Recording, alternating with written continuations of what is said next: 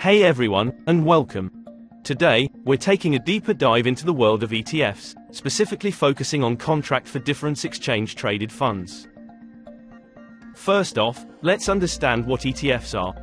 ETFs are traded on exchanges and can be bought and sold like shares.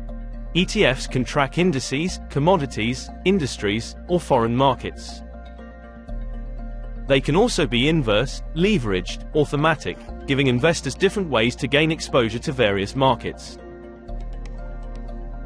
However, CFD ETFs are unlike regular ETFs that directly hold underlying assets. CFD ETFs track the price movement of an underlying asset through a contract. This means you don't actually own the underlying asset, but you can speculate on its price movement, potentially profiting if the price goes up or down. So, why are CFD ETFs so popular? First off, leverage. With CFDs, you can leverage your investment, meaning you can control a larger position with less capital.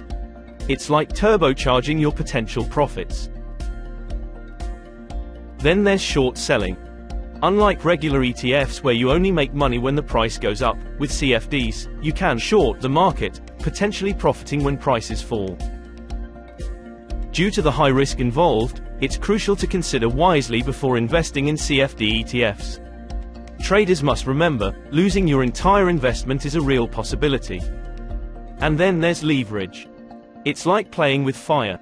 Sure, it can amplify your gains, but if you're not careful, it'll burn you bad.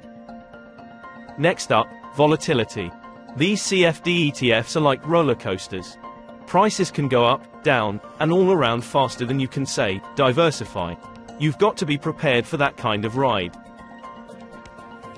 When investing in CFD ETFs, it's essential to conduct thorough research, stay informed about market trends, and use risk management tools provided by your broker, such as stop loss orders and take profit orders.